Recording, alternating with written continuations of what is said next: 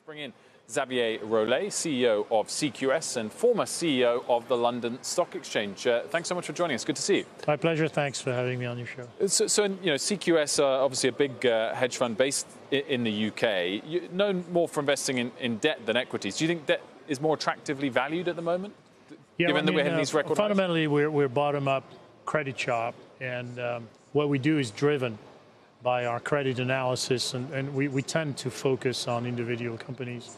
Uh, but equities, for example, and a range of other long only as well as hedge fund strategies are part of that universe. We have about 32 centers of excellence uh, and find that there, there, are opportunities around the world. We don't have a single house view. I often get the question, where are we in the credit cycle? Is a recession imminent? We haven't said that uh, even earlier this year when fears of an imminent uh, recession were, were, at their height. Uh, but we do see signs of stress. Europe, for example, um, which is on a, on a separate cycle right now. Bankruptcies in the United States have not, and defaults have not risen at a level that um, would solicit concern, but we are seeing signs of, of stress, particularly at the lower end of quality on the, on the corporate capex and, and consumer uh, financing, where, where, it's a little bit harder to raise capital um, if, if your credit numbers are not, are not properly aligned. How are you factoring in the 2020 election into your rate outlook here for the United States? Well, I mean, we can see this today. You know, the, the U.S. economy continues to be the beacon of, of, performance and innovation around the world. So th there's no doubt today that investors, investors that we speak to around the world, look at the U.S. as where things are happening, where, where the capitalist economy and, and markets are able to convert innovation the more quickly into value, societal value, as well as, of course, financial value. It's clear that the election is projecting uh, a set of concerns, a debate uh, that creates a little additional uncertainty. But I think investors at the moment are far more focused on whether the, the trade war or the dispute with China is going to be settled soon or not. We're starting to see some impact in terms of confidence, which has offset some of the benefits stemming, for example, from fiscal reform in the United States, which we really powered, powered the market. And of course, the debate thinks that uh, for those who have been associated in investing in the market, in the US market for a long time, had never heard of like wealth tax and, and proposals that uh, seem to be more closely associated with the sort of policies you'd hear about in Europe are now percolated on the scene in the United States is worrying some investors, but I would say overall, certainly investors we speak to in Europe, Asia, and around the world uh, expect uh, the current fiscal and regulatory framework to prevail. We, have been talking today about the uh, Schwab uh, TD Ameritrade yes. deal. Uh, when you look at your old business, London Stock Exchange with Refinitiv, also had the Hong Kong Exchange looking right. at it. You'd also previously been trying to merge with Deutsche Börse. To, to what extent is that space and the, the, the uh, online traders Uh, indicative of, of, a broader wave of financial consolidation to come? And certainly in the infrastructure industry, in the exchange industry, I, have been on the record saying that this will continue. But if you look at the big numbers, right, half, half the global growth in assets under management since 2017 has been in China. The United States today owns 55% of global financial assets. By 2025, at current rate, we expect that fully 75% of financial assets globally will be either American owned or Chinese owned.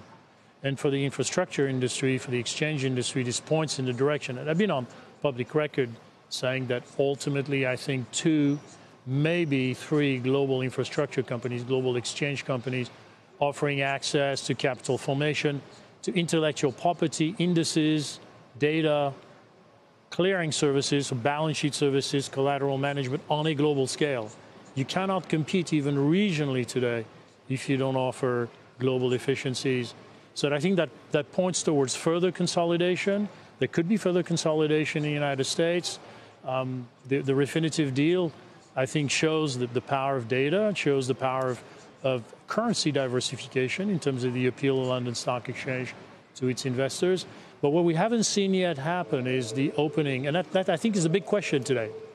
And, and I, I, I travel very often to Shanghai and other parts of China, where you'd sometimes be surprised to hear echoes in the Chinese business community, very senior people who actually think that the pressures inherited from that trade war are actually going to be good for the Chinese economy going forward.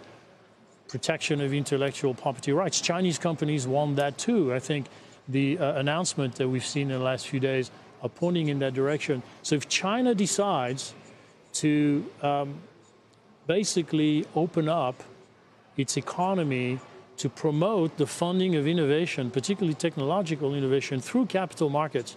If it excused the, the um, essentially the choices that have been made in Europe to rely almost essentially on bank lending, mm-hmm. over 80% of all the sources of funding in Europe come from bank lending. But if it chooses the, the path of capital markets, I think there's a chance over the next 10 to 15 years, China could develop in a way that will look more like what the United States looks uh, looks like today. A, a, quick final question, if I may. We're up against the clock, Certainly. but you're in a unique position to comment on Brexit as a as a Frenchman. I thought I might get a question on yeah, Brexit a, as a, Frenchman. I a. Frenchman who, who's managed the London Stock Exchange, no, no less. Uh, how much damage will Brexit do to London as a financial centre in the long term? Well, it, it's certain in the last three years we've seen investment being put on hold, and uh, there has been calls for you know the, the resolution of Brexit if that is the outcome of the imminent elections in, in the UK, uh, will provide a governance framework. But here's, here's the truth about Brexit. Even if the UK manages to get out of the European Union in the next couple of months on the back of the election, returning Boris Johnson and the Conservative administration, there's a very long list of deeply complex issues around financial regulations, energy, education, migration, that will need to be resolved, that will need to be addressed. So I expect the time that it will take for those issues to be resolved and hence for solutions to be provided to business. Because what we're really talking about is investment being put on hold. Mm-hmm. So if, if the UK comes out of, of the EU in the next couple of months, some of that investment will go back into the economy. But the big infrastructure investment, the long term investment decisions, will be dependent on the outcome of really technical negotiations that actually haven't really started yet. That will take some time.